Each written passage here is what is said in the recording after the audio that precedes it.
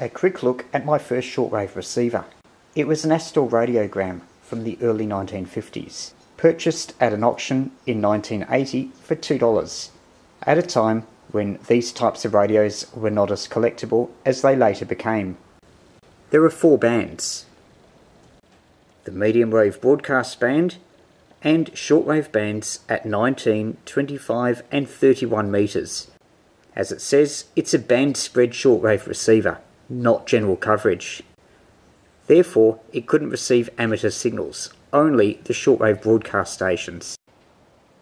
Tuning was backwards, with the low frequency towards the right end of the dial.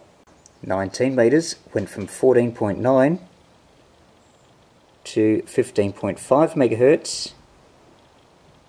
It was this band that gave me the first taste of WWV reception on 15 megahertz.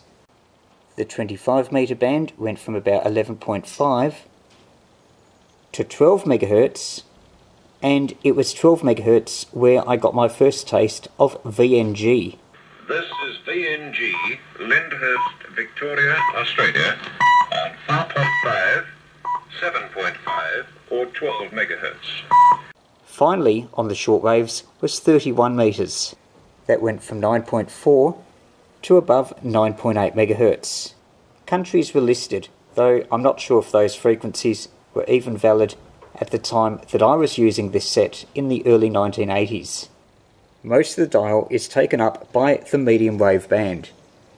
In Australia, it was common up to about the early 1970s for broadcast stations to be marked on the dial rather than their frequency.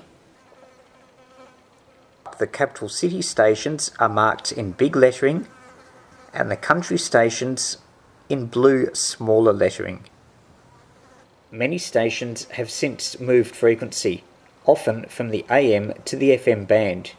There may still be transmissions on those old frequencies, but they may be occupied by radio for the print handicapped, specialist sports, or ethnic stations.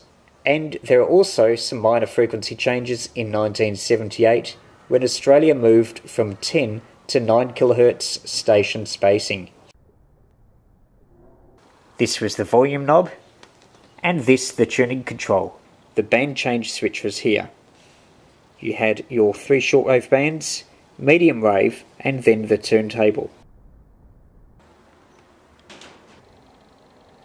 The record player never worked. It had three speeds of 33, 78 and 45.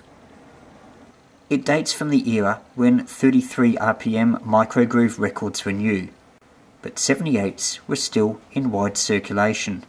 It was mono, stereo was to take off in the late 1950s.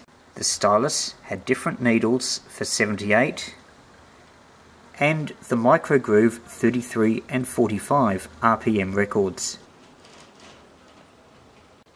This, I think, was so that records could be stacked. As was fairly normal, the cable was just two wires, an active and a neutral, no connection to earth. There are two other wires poking out the back, the black being the earth connection and the cream being an antenna connection. The radio has spent a lot of time in a shed, but surprisingly still works. This is the variable capacitor. It would be tool 3 gang.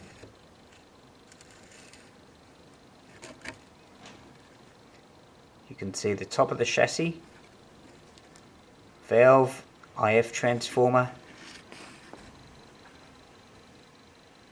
This unit would likely have had 5 or 6 valves a couple of tubes for the audio amplifier, maybe one for the IF amplifier, possibly a diode valve that might have been in the case of another valve for the envelope detector for AM, and one or two valves for the front end.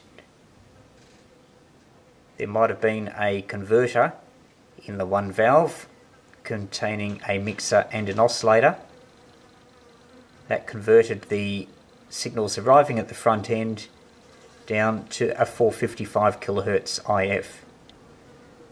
There would have been sets of coils, total of four sets, one for the front end and one for the local oscillator to allow the four bands to be covered. By that time, the octal valves had been superseded by the all glass types, either 7 or 9 pin.